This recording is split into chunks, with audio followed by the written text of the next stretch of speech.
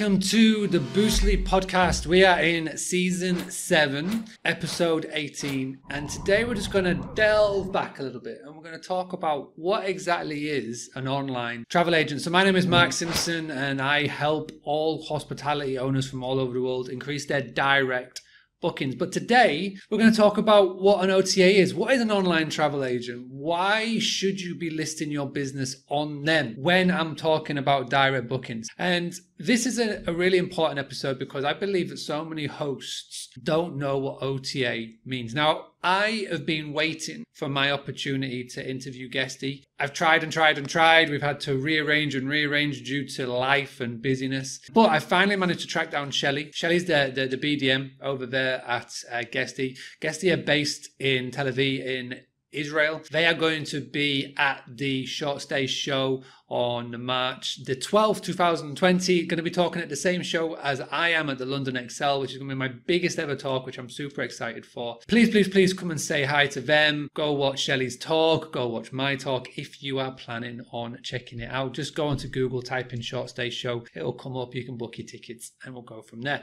Want to say a quick shout out to the sponsors of the Boostly podcast, Hostfully. Right now, we are doing a joint competition to find the best guidebooks of Hostfully land. If you go to hostfully.com, you can go and create your free guidebook. You get one free guidebook. If you want to go to two or three or four, then you have to pay. If you are going to pay, if you are going to go premium, put Boostly2M in the promo code. You get two months free. And also as well, Boostly gets a little bit of love from Hostfully because you have done so. The competition, if you want to go to hostfully.com forward slash contest, all the links will be in the show notes. You've got a couple of weeks to submit your guidebook. Please do so, even if you think it's not the greatest. Please go and submit it because we're going to have loads of different categories. And what, we're going to do is we're going to be giving out prizes.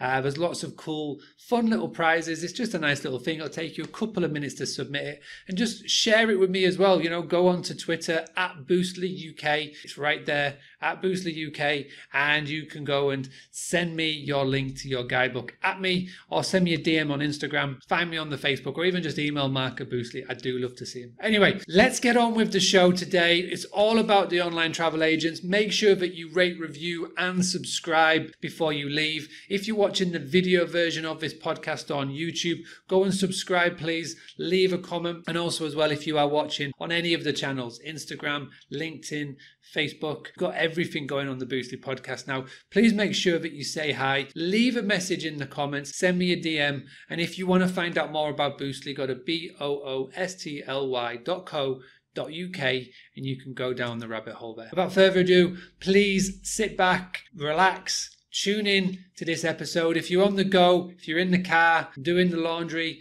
changing over, doing the big shop, whatever you're doing, please, please, please enjoy this one. It's a fantastic episode. I had a lot of fun doing it. Guesty are a fantastic PMS provider, and I really recommend everybody to go and check it out, specifically their USP that I'm going to delve into in this topic. First of all, thanks for having me here today. So I'm Sheli. I'm the business development manager at Guesty, and I've been with Guesty for three years. So uh, we were a company of 30 when I started. Today we're over 300. So it's been a crazy three years with Guesty of rapid growth. I first started with sales at Guesty actually, and then I grew to be a sales sales team leader, and then ended up in business development where I manage our marketplace activity, vetting our third party integration so that we bring really awesome solutions solutions from OTAs, which we're going to speak about later today, all the way down to pricing tools, home automation tools, guest experience management, right? So covering the entire market so that our users can tap into the ecosystem to build their tech stack. So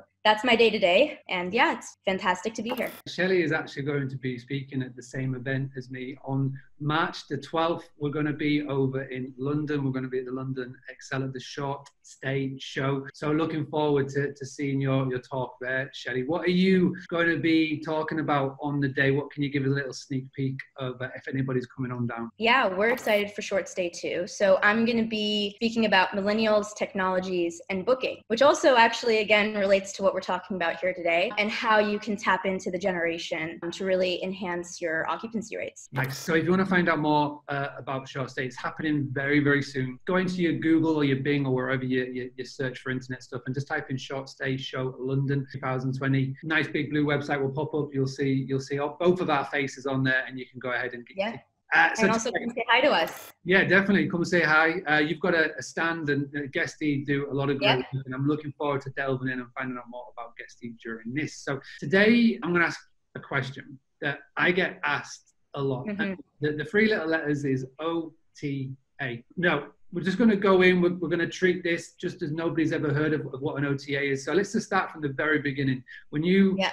Hidaway's OTA. Can you just unpack it a little bit and explain a little bit more about what that means? Yeah, absolutely. So, an OTA stands for an online travel agency. So you likely know them as Airbnb, Booking.com, HomeAway, right? Expedia, TripAdvisor, and the list goes on. There are many OTAs out there that are there to really help you maximize your reach and you know maximize your guests because they're targeting guests from all over the world. So they're platforms that enable you to distribute your properties, um, and again, in order to achieve maximum occupancy rates. Yeah, like I say, online travel agent, Booking.com, Airbnb, Expedia, they've been around years.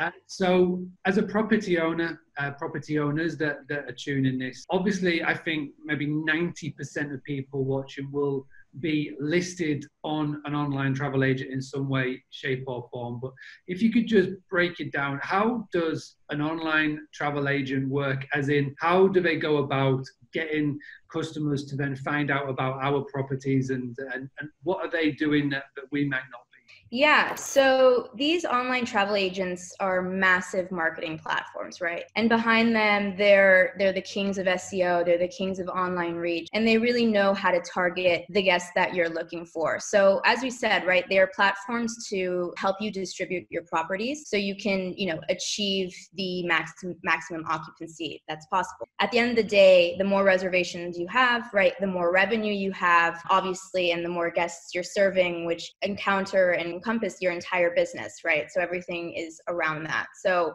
the main goal of property management companies around what we see with our users, again, across the market is, you know, being able to have the best online travel agent strategy so that they can maximize mm-hmm. their reach obviously the the Boostly podcast is all about getting direct bookings and how to yeah. your direct bookings but it's really yeah. important as well to, to to to realize and to sort of put into practice that how can you make these otas work for you absolutely and and not the other way around and there's so Absolutely. many things that you can be doing right from the off and, and we're going to sort of unpack a couple of these but so how can anybody watching this and now but maybe some people that Uh, have just got started in the world of hospitality, but maybe people have done it for a while and they're not yet on the OTAs. But how right. easy is it to get started on on these sites? Like what what what is the like the, the, requirements from OTAs to, to, to get on their website? So, you know, listing your properties on each individual platform is actually very time consuming. There's a whole, and you know,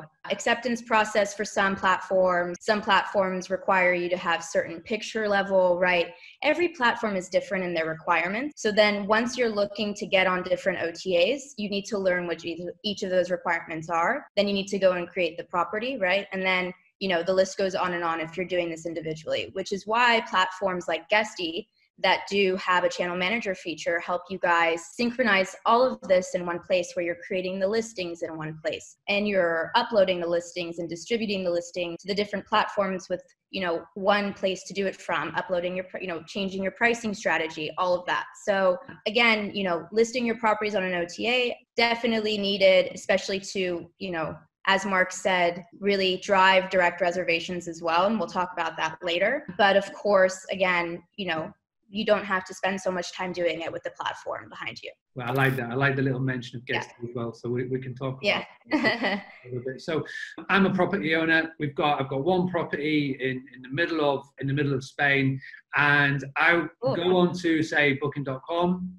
I go and list my property on there. I get a booking, which is great. Now, how do I get paid? Do I do I get paid from the OTA directly? Do I have to wait for the guest to pay me? How how does the sort of the payment part work? So each OTA has a different payment policy, right? So again, when you're looking at each OTA, you need to look at which payment policy works for you. Some are paying directly at check-in, some are paying half, you know, half at booking confirmation, half at um, check-in, or holding that deposit and only releasing it after. Right? There is different different ways that these OTAs collect payments, but they are directly between you and the OTA. So they are the ones that are paying you out for some of them.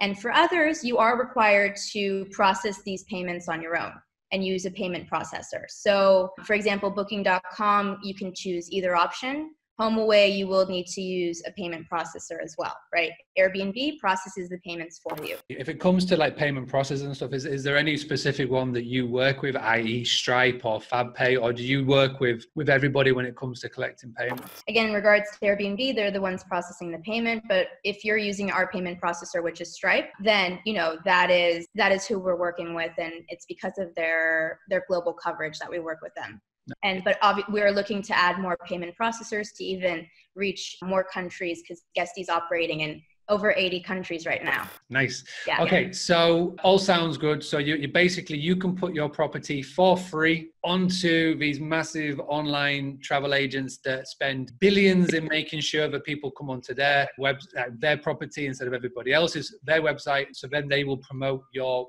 property on there. And then all you have to do is then you have to pay them a commission when a when a booking comes in. Now it all sounds good.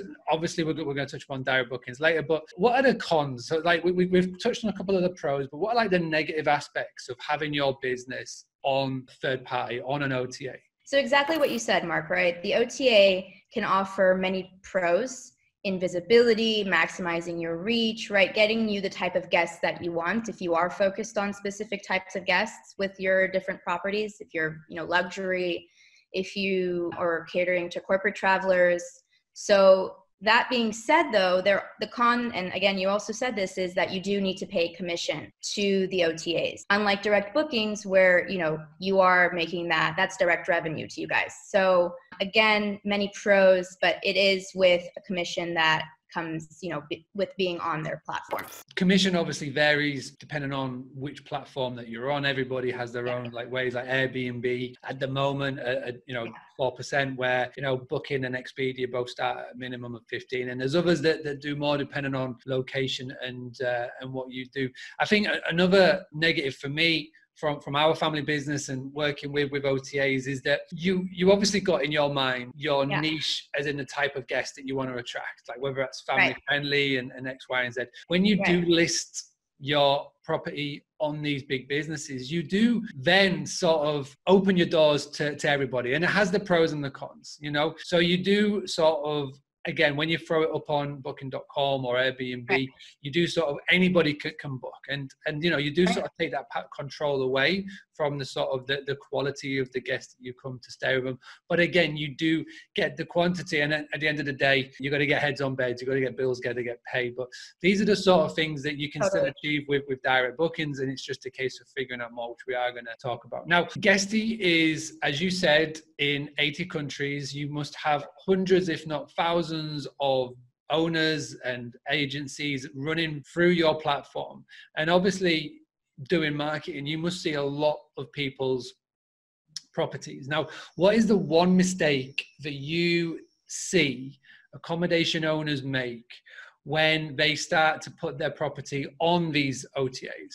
Only one mistake. So, obviously, there are many mistakes that can be made. I would say the most hopefully important mistake that people should avoid making is not investing in reviews. And the reason being that is that's your online profile and that's, you know, the voice of your listing speaking to the guest, right? So, invest a little bit more in getting reviews you can easily you know increase your review you know review getting if you give a review so improving that um, and again you know enhancing your online image to these potential guests. So let's unpack this a little bit because I like this. Reviews is obviously really, really key. And you know, it's whether you like it or not, reviews can can make or break your online presence on on, on these sites, whether it's Airbnb yep. or, or booking or wherever. Yep. So when you say go out and, and get more reviews, how would you, if a guest has left, now, there's always a case where you can ask them as they're leaving. You know, if you've got right. that face-to-face contact with them, oh yeah, please go leave a review. They go, yep, yep, yep. As soon as they get in the car, then the real world kicks in, and then just never leave it. What do you recommend to people to do to then sort of go and get those reviews? Are you sort of thinking about email templates, like reaching out via a text or something like that after a guest has stayed? Like, what what would you like to see? What what do you notice people not doing that you think they should be? Yeah, so there there's a couple of ways. First of all, necess- you know, somebody who's on their way out of your apartment, your, your home, they're on their way out, right? So follow up with them. Follow up a week later, you know, be that reminder for that great vacation that they just had and ask for, you know, a review there with the follow-up template. You can do automated SMSs, emails. You can do it, you know, right away the day after on the channel if needed, right? Things like that. But obviously, SMS and email is ideal. So collect that information. You're, you have that information already from the reservation. So that's one. Two is again, you know, make it easy for them to leave a review. So give them the link that gets them to the page. Make it actionable trigger when you're sending that email so that again, they're more likely to do that. And then if you don't see them doing a review, then leave them a review. And then they're more likely as well to go and leave you a review, right? So those are three ways I think you can really boost your review rates. Obviously, you can also use reputation management software, so it can also help with that. You know, we're we're building and managing reviews in Guesty, so that's something that you'll be able to do in softwares. So in our software specifically as well. So yeah. And obviously that that last one where you're saying go and leave a review first, that's that's heavily yeah. geared towards obviously Airbnb because that's a big part of of uh, their platform is the review where yeah. the host can actually leave it. And you know, I've got uh, booking.com coming on to the Boostly podcast in a couple of weeks time and that That's is great. one of the suggestions that i'm going to be throwing out to them is the offer the service where hosts can review guests on, on booking.com because i think that personally that's something that i feel is missing but you're right you know if you if you've got that ability on airbnb where you can go and review your guests first then you know it's, it's a massive indicator because again if you've been ever been on the other side and you've been a guest staying at an airbnb and the host leaves the review first airbnb yeah. send a very enticing email to you to say, look at what host name said about you, which, you know, again, it, it makes you leave a review. And, you know, there's loads of other things that you can be doing. You can, you know, I, I always used to do this at our family business. We used to incentivize reviews. Now, I'm not incentivizing good reviews because that's, that's right. the T's and C's, but, you know, you can be very clear with your word in an email or a text or, you know, just whatever you do to get to get the message across. I say, listen, whether it's a good or bad, whether it's one or five, please go and leave a, a review over on the things that we do. Uh, we were using I mean, our main core at that time when we are doing this was, was to get to top three on TripAdvisor. So we would always send people to TripAdvisor. Now I, I would be sending them to Google if it was like the same same thing. But we're saying good or bad, go leave a review. Uh, every month we pick one name out of a hat, random, and then you win X, whatever that X may be. And that was a real indicator because you can ask and ask and ask and ask and ask, but you've got to have a little incentive, a little carrot on the stick. You've got to make it worth their while because they'll just go, listen, we liked you, fantastic, but so what? And I think, you know, if you're thinking, how do I get more reviews? Try and think of a little incentive. But if you're going to do an incentive, be uber clear, really clear that it's not in exchange for a five star review we'll give you right. this shiny thing because then that's how you can get in, in a lot of trouble if you get if you get reported now we've gone through a lot of the things we've sort of teased a little bit of what Guesty is, but I'd like to sort of take the next part of this, just dig in a little bit more because you guys have been on my radar for a while. Um, there's a lot of uh, Boostly website clients that use Guesty, and it's it's a service that I love as a specific feature that I want to touch upon in, in a minute. But just give everybody uh, tuning in a little bit of a more of an idea of who and what Guesty is and and how you work and, and who you best serve if you could just do that Sure. So Guesty is a property management platform. So we're an end-to-end solution for property management companies who are really looking to scale their business, but also automate, you know, pretty much their entire operation so that they can focus on that growth in whatever way that means for them. So, you know, Guesty is really catered for property management companies with above five listings. You know, again, it's a powerful tool, it's a powerful software um, it's your business tool so for for those professional property management companies and again who are looking to have that growth but also have powerful features behind them i was yeah. going to say so it's a pms it's a channel manager you've got the automations right. if there would be say a a guest house owner watching right now do you do you typically work with guest houses they've got say five to, to ten to ten bedrooms or are you geared more at the the rental uh, owners here? So we do definitely cater to to guest houses. I would say the best fit for Guesty would be property management companies who are managing whole units, individual units, or you know entire buildings. Again, we have really great features for that. Um, but of course, with our multi-unit feature, we also support rooms in that. However, you do need to have a minimum of five properties to be with Guesty. But of course, you know, we are speaking to everybody when it comes to and and doing demos. So, you know, at the end of the day, it's it's really if if it's a right fit for you, you know, we'll, you know, and if it's a right fit for us. So just a case, just go onto the Guesty website and we'll, we'll provide all the links at the end and you can go and request a demo and, and have a chat and see if it's a, a good fit.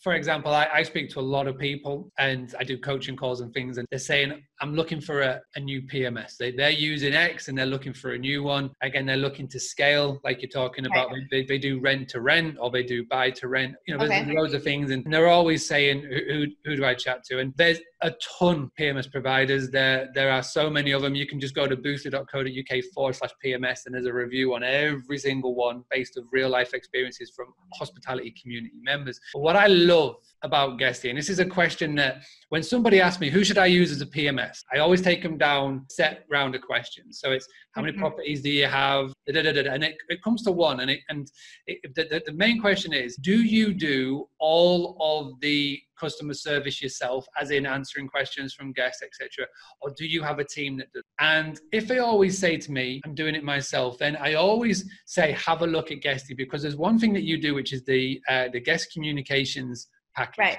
Now, could you please, because this is unique, as far as I'm aware, I don't know of anybody else that offers it, but could you just please right. delve, delve into what that is and how that works and how it could benefit uh, a property manager or, or, anybody that's watching? Yeah, absolutely. So our 24/7 guest communication service was actually how Guesty started, and with this service, we developed our software. So what this service is is it's a 24/7 guest communication service where we have a team of well trained guest service experts who are there to answer your guests from the moment that you receive that first inquiry to the moment that the guest is checking out. So we're, you know, we're your communication team 24/7 to your guests and freeing this up Re- this part of your business up again really gives you guys time to focus on listing acquisition marketing strategies right things that you know that mark talks about here and it's covered by a team of experts with guesty so um, it is an upsell when you're using Guesty software. Um, it can't be instead of the software. It, it goes hand in hand. But again, you know, having that 24/7 coverage is is definitely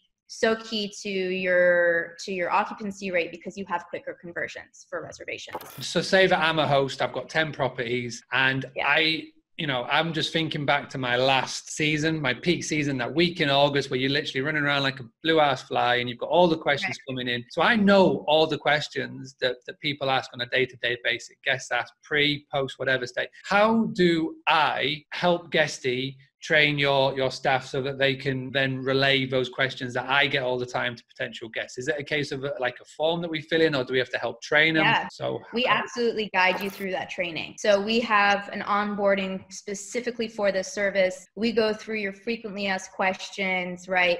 What do we want to what do you want to do in case of an emergency? Who do we call if it's 10 a.m if it's 4 a.m right? What does that look like? You know if somebody's asking for a discount what's your go-to right? So we're really your voice. And again we're taking our property managers through that onboarding which in some ways again for let's say you are that property manager with 10 properties this is a fantastic way to understand what's your best you know guest communication strategy and what you really need to have honed in on and, and completely you know outlined because this is what you're going to experience in your day to day and we really you know can help with that, whether it is by answering you, you know, or if you're getting started and you want to learn more for a year, you know, things like that. So it's definitely either a tool for growth, a tool for learning, but we're we're guiding our our our users through that. It's something that I talk about all the time is outsourcing, and you you can't do yeah. everything. You can't spin all the plates because if you do it, then you totally. burn out, and the business will will suffer. And you know, if you're happy being the person that is always in reactive mode, you know, always asking, answering the questions because you like to be the face of whatever, that's absolutely fine. But if you want to be that proactive yeah. business owner, hospitality owner, accommodation owner, whatever one you want to class yourself with, and you want to take the business forward and go from 10 to 20 to 30 properties. And if you haven't built your own team of virtual assistants, so to speak, and you haven't got a clue how to do that, then this is the the perfect solution because as well as doing this, Guesty, you've got email automation, you've got all the software that everybody else has, but I'm always looking at unique selling points, USPs, and this for me is like 100% what what Guesty do really, really well. So thank you very much for touching on that. Now, as I like to end every podcast, we've got some quick fire questions. Now, I have pre sent these to Sheli, so we will have an answer for them. So we're going to delve into each one. And that, you know, I uh, I do like these questions because it it delves into not only who Guesty is, but who you are as well. So this is great, so people can start to find out a little bit more about yourself. So uh, we've got a couple of questions that we're going to go through, and we'll just do quick fire. And again, if any answer that comes up in here that you want to find out more about, I'll make sure that we get them in the show notes, and you can go find out the show notes at boostly.co.uk forward slash podcast. Uh, scroll down to season seven, episode 18. Click on Sheli's name and you can find them all there. So, first and foremost, what is your favorite business book? Thinking Fast and Slow by Daniel Kahneman. So this one we can combine. Do you have a favorite podcast and or favorite YouTube channel that you personally listen to or, or watch on a daily or weekly basis? Favorite YouTube channel, which is Vox. I love Vox. All right. What is Vox? Yeah. As in like Fox News or Fox? No, uh, Vox, V O X. Oh, okay. Tell me what, yeah. what, what, what is Vox? So they do these amazing videos on so many different things, politics, you know, climate crisis. So, you know, they did the whole thing about why are there brush fires in Australia right now? It just, again, they, they have so many different different topics that they cover and they have a Netflix show called Explained so if you're an Explained fan, that's Vox. So they also have a YouTube channel. I am now subscribed to Vox on YouTube. Thank you for that. Yeah, you're welcome, and I'm sorry. That's it. You're done. I am I am done. I've already seen a couple that I wanna I wanna check out. All right, so uh, podcast then. Do you have a podcast you like to, to, to tune into? Um, uh, how I built this with Guy Raz. Definitely, that is a personal favorite of mine as well. I love that one to find out how business owners have put together their, their business. There's some amazing episodes in there. All right, so uh, moving on to the next one. What is your favorite purchase under hundred dollars in the past year? I put pounds, but we'll do dollars. So, what's your favorite purchase under hundred pound, hundred dollars in, in the past year? Yeah, so this is gonna sound, I think, pretty lame, but my laptop stand. I finally learned how to sit at a desk without having, you know, your back hunched over over your laptop for four hours. So proud of myself for doing that. So that was the best purchase this year. Do you know what the next development is? Is a stand up. Now, I may look like I've got a fancy stand up desk here, but this is an, an IKEA Lack table for $5. Oh, I for sure thought it was a standing table. I was like, his setup is too sick for me right now. you know what it is? It is a. I'll send you a picture after. Is it's an IKEA Lack table on top of a on top of a desk with a, a laptop stand. So it's a total cost fifteen dollars. so oh, nice. Big shout out to IKEA for that. What is uh, okay? So what is? I, I would say like guessing, but what is your biggest pain point in like Guesty or, or your day to day right now? So it can be Guesty yeah. or like your own personal, like with the business development and whatnot. What is like your personal like biggest pain point right now in what and what you're doing? Yeah. So my biggest pain point is growth and managing all of our marketplace activities and ecosystem that grew to over 70 partners in under a year. And we're continuing to grow every month. So, you know, we've got to keep up with that growth. And my day to day looks you know completely in hand entail with supporting that growth but again you know it's amazing and fun too. So i wouldn't say it's a pain but it is definitely you know what i'm dealing with today in my business. 2019 was a, crazy year for Guesty because that's when you just came onto the scene all of a sudden. You just flew out. And like that's how i discovered you was from word of mouth which is always good and then yeah. just seeing all of the things happening with like the blogs and stuff. So yeah, it was a obviously was a big a big year for you guys. So it's awesome to Definitely. see from looking from the outside. Okay, Thank so you. as you know, the Boostly podcast is all about direct booking. So what is your one tip that you could pass on to a hospitality owner, accommodation owner, property manager on how they could increase their direct booking? Invest and build your brand. You know, building your brand is probably the most important way to communicate with guests. And at the end of the day, the, the direct bookings is directly connected to how well you communicate with them and how well they associate themselves with you, right? Especially if you're doing it on your own with your own website. So build your brand, right? You know, we have a lot of resources on Guestiversity for do, for that, for building your brand. We did, you know, uh, an article with Full House on how to make your p- properties more instagrammable right? And and also another one on how to again manage your online presence. So definitely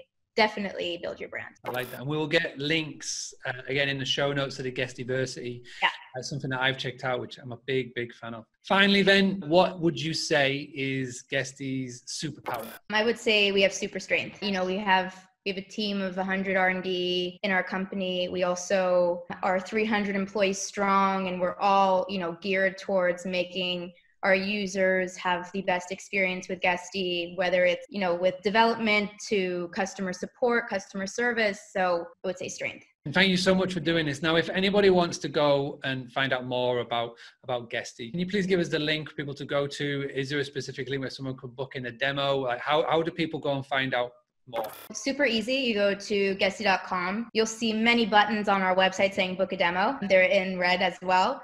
Um, and we're going to link that down here as well. So, you know, go and register for a demo. We'll really get back to you shortly, show you around our platform. Lovely. And obviously, Guesty, you're going to be at the Short Stay Show, uh, March 12th, yep. London Excel, big stand. You can't miss it. It's nice, bright and blue. There's loads of happy people there. Go and say hi. Sheli's talk is obviously going to be on the marketplace stage. So go and say hi and, and tune into that. But in the meantime, yeah, go check them out on the socials. Go check them out on what they're doing. Go check out the Guestiversity.